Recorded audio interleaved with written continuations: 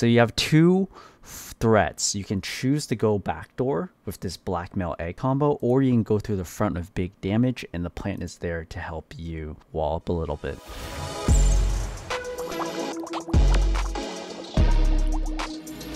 Hey guys, Sleet from Super Whale here with another video and today we're going to be talking about the RIMP team. Now, this is a very, very common team that a lot of newer players and people on a budget or scholars have, and we're going to be talking about all parts of this team, how to build it, how to play the team, the strengths, the weaknesses. Let's go over the team itself. So, as this particular RIMP team says, it's based off of this beast, RIMP being Ronin and Double Imp.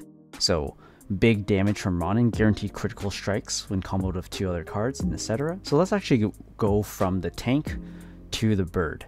So, what is this all about? The frontliner generally wants to be the tank of the team. Something that can absorb hits, something that can put up some shields. Plants in Axie tend to have the highest HP stat. Plants will have the highest HP stat comparative to Dusks, so it makes for a great frontliner. Now this particular moveset also very, very commonly bred. We can see that it has a pumpkin, so draw a card if this Axie shield doesn't break. Serious, which helps slow down the pace of the game, allows you to gain some energy. Leaf Bug, which helps you with the energy gain. And Carrot, which is kind of like an energy neutral card. It puts up a little bit of pressure, it gives you a little bit of shield, and if they break the Carrot, you can get that energy back. So it's another way of kind of preserving your energy but not also completely passing per se. Now for the beast itself, we have one big damage card and that is Ronin.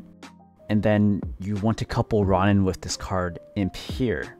So it says gain one energy per critical strike dealt by your team this round, and then the Ronin will guarantee you two other cards. So you want to play the Ronin with the Imp, generally speaking, just to gain that guaranteed energy. And then Nutcrackers want to be comboed with each other, so that you get that bonus damage. So this Nutcracker will work with this Nutcracker as well.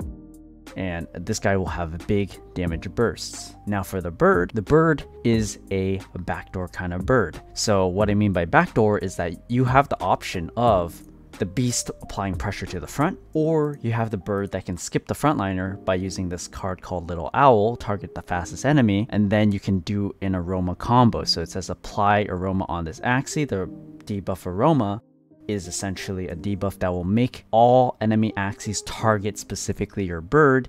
Even if there's higher priority targets, the Roma will override the uh, the targeting system. You can also choose to drop off the Roma debuff because Aroma is considered a debuff onto your target Axie, which means that you can use this Little Owl, target their fastest enemy, drop the Roma with the Blackmail, and then finish it off with a Beast. That's a very, very common combo. So you have two threats. You can choose to go backdoor with this blackmail egg combo, or you can go through the front with big damage, and the plant is there to help you wall up a little bit. Now, how much does the team actually cost? I checked the bird, and for the bird, you definitely want something that is, here we are. So you want a bird that will have the lowest HP. Looks, uh, if you look at my stats video, we you can see why you want to be lower HP so you can win speed ties, followed by the fastest speed 61, and then you don't need to worry about the skill and morale values.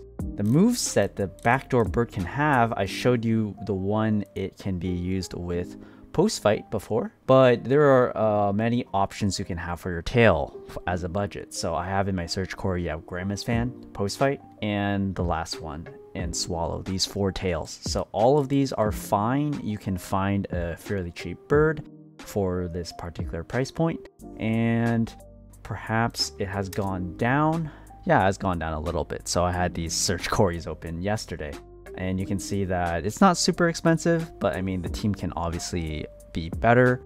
But as a scholar, sometimes you may not have all the tools that you can play with, and we have to play with the cards that we are dealt. Rimp Beast, also not super expensive how much it costs. It seems about the same cost as yesterday. Now for this stat, if we just want a pure beast, nothing crazy, we don't have any filters on the side. The most important thing is to see its move set. So we make sure that has the Nutcracker, the Imp, the Ronin, and the other Nutcracker. Single Nutcrackers tend to not do as well, if uh, just to give a little bit of consistency. So if you want specifically this part uh, budget beast, then you want to go with this particular moveset. Now for the plant, the plant again also is quite common.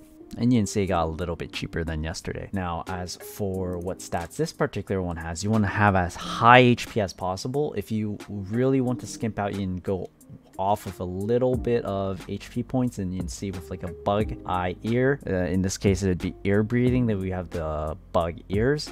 It'll have slightly lower HP and it'll be slightly cheaper but each HP point will compute to about uh, 6 HP each. So it is nice to have higher HP planet possible. Also, if you're playing serious, you want it to be 31 speed max because the reason why you want to be slower is so that if they serious you, you can serious them back. And in that particular regard, you'll always get the last laugh. Other things to note for plants, you want to buy the highest ID possible for the same price. So, what it means by the highest ID is that if the larger the number, again, when it comes to speed ties, the older the plant, the faster it will move in speed ties. So if all the other specs are the same, uh, they're the same speed, followed by the HP, and then the morale and the skill, if all that is fine, then it goes down to ID. So you want to be using the newest plant possible, the one with the highest number, and conversely, for the bird, you want to go for the lowest ID possible if you have several to choose from. For instance, this one's a 1 million bird, and it's pretty much the same price. I would say go with the lower ID bird it will win speed ties more. Next, we can go over some gameplay of how to play this team. Positioning wise, I would say that you want to put your beast and your bird on the same line, and you don't want to put the middle because if your opponent decides to split their Axies, top and bottom, your Axies will be targeting randomly. So I would highly recommend you place at least your DPS units on the same line so they're focusing the same axis. And then for your tank, you don't really care which direction it's attacking, just so that you have the consistency here if you try to place the, the plant here, you might have a different 50-50 this way. So it is probably best to position either like so or on the top. It, it's completely up to you in that regard.